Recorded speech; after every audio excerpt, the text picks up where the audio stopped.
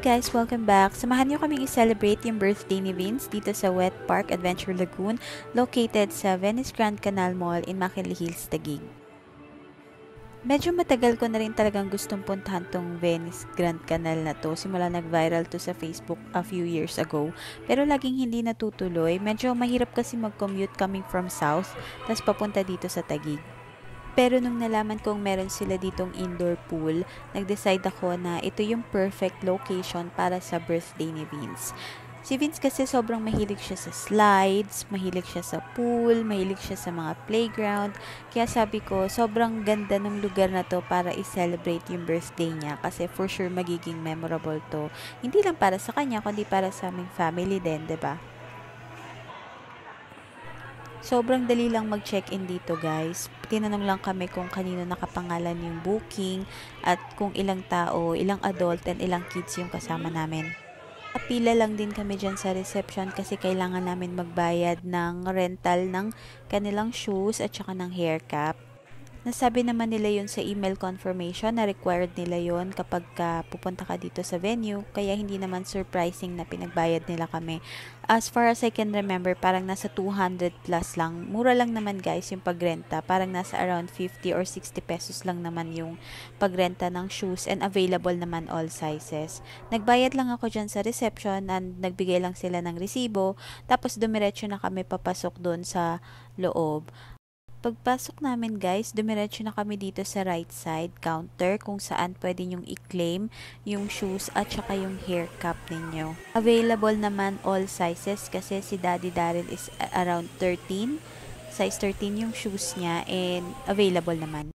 Dito naman sa left side from entrance, nakalagay yung kanilang shower area, changing area, and katapat lang yan is yung locker area. Medyo high-tech yung locker area nila kasi bibigyan lang nila kayo ng tag and itatap nyo lang yun para i-open yung locker nila. Heads up lang guys, separate pala yung shower area nila for boys and girls and meron din silang dedicated shower area before kayo magpunta dun sa pool. Sasabihan kayo ng mga assistant na mag-shower muna kayo bago kayo magpunta dun sa pool area. Madali lang magpa-reserve ng date sa kanila guys. Ang ginawa ko, nagpunta lang ako sa Facebook page nila and nag-message lang ako. Nag-respond sila ng merong link na kasama at ikiklik mo lang yung link na yon para mag-fill out ng information at sabihin kung kailan yung target date and time mo na gustong magpunta sa venue. Meron din silang apat na schedule option. Number 1 yung 7.30 a.m., meron silang 11 a.m., meron silang 2 p.m., and meron silang 6 p.m. And meron lang silang number of heads na allowed per session, kaya napakadalang nung instance na magiging crowded yung place maximum of 3 hours lang per booking. Nung una naisip ko, parang ang bitin naman kasi 3 hours lang. Parang mag-e-enjoy ba kayo dun sa 3 hours na yon And nung nag-swimming na kami, nung nandyan na kami, na-realize ko na sakto lang yung 3 hours guys. Kasi wala ka naman masyadong gagawin once na ikot mo na yung mga slides, nakapag um, ikot-ikot ka na, nakapag-swimming ka na. So, saktong-sakto lang yung 3 hours stay. Yung rates nila guys is 688 pesos for weekdays and 788 pesos naman kung weekends and holidays para sa isang adult and one kid.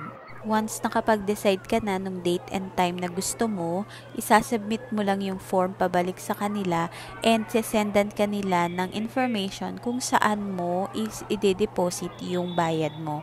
Nire-require nila ng full payment bago nila i-confirm yung booking mo. Mabilis lang din naman sila nag-send ng email confirmation and kompleto naman yung details kung ano yung mga do's and don'ts na kailangan mong i-follow pagdating mo doon sa pool area. Ingat lang din pala kayo guys, lalo kung may mga kasama kayong bata and medyo maluwag yung uh, yung shoes na napunta sa kanila, yung nirerentahan na shoes. Kasi kapag nawala yung isang pares noon, magbabayad kayo ng 300 pesos. Sobrang worried ko nung time na yun kasi nagulat na lang kami, isa na lang yung sapatos ni Vince. Nung napansin naming nawawala yung isang pares ng shoes ni Vince, hinanap namin dun sa pool area. Pero ang nakita namin is isa pang pair ng shoes pero pareho na silang left. So, nag-ikot-ikot lang kami doon. Mabuti na lang nakita ni Daddy Daryl yung isang mommy na meron din siyang hawak na shoes, pero right side naman. So, nagpalit na lang kami ng pair ng shoes and saktong-sakto kasi yun pala yung pair ng shoes na nawawala ni Vince. Meron din silang obstacle course dyan sa taas, guys. And yung zip line ginawa namin towards the end nung time namin. Hindi namin actually natapos hanggang 1pm yung schedule namin kasi nagugutom na kami dahil 11am nga kami dumating and since malilate na kami, hindi na kami nagkapag-lunch ahead of time. Naisip din kasi namin ni Daddy Daryl na baka masyadong magsiksika naman sa shower area yung mga tao kapag sabay-sabay kaming aalis ng 1pm. So, 30 minutes before nung schedule namin na matapos, umalis na kami and nag-shower na kami.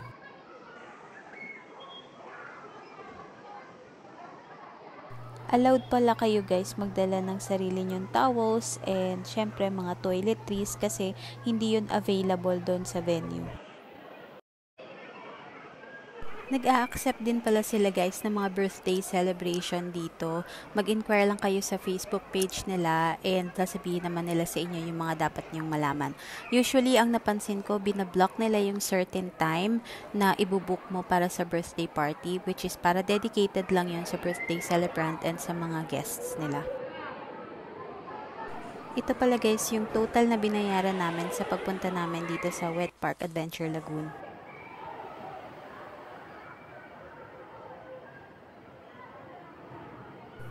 Overall, naging masaya naman yung celebration ng 4th birthday ni Vince and even maiksi lang yung time namin, super super na-enjoy naman yun ni Vince and yun naman ang importante.